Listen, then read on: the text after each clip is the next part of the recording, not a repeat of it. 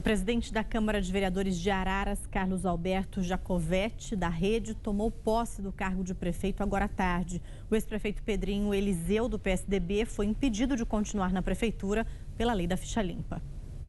Araras já tem um novo prefeito, mas nem todo mundo estava sabendo. Não, não estou sabendo, não. Pedrinho Eliseu, do PSDB, que foi eleito em 2016 com mais de 28 mil votos, foi afastado da prefeitura, após o Supremo Tribunal Federal negar um recurso da defesa. Pedrinho só estava no cargo porque tinha sido beneficiado por uma liminar concedida pelo ministro do Supremo Tribunal Federal, Gilmar Mendes.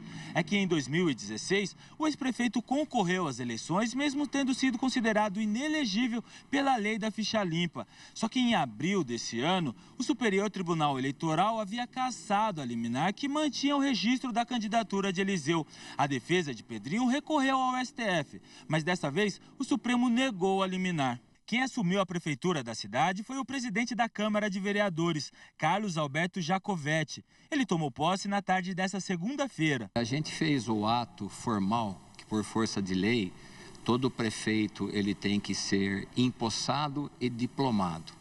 No caso, no caso da gente foi através do juiz. O juiz já mandou o comunicado, então isso, vamos dizer assim, foi o diploma. E a posse foi agora, né, via Câmara, a nossa presidente agora, a Anete dos Santos Monteiro Casagrande. Pedrinho Eliseu gravou um vídeo em apoio ao novo prefeito. De dizer para o prefeito Carlos Alberto Jacovetti que nós estamos juntos, é, que ele conte comigo naquilo que for necessário. Carlos Alberto firmou um compromisso com o ex-prefeito de não mudar nenhum servidor público enquanto estiver no gabinete. Ele também pretende seguir os mesmos projetos. Não vou dizer para você que está havendo uma transição de governo. Está havendo uma transição apenas da função do prefeito.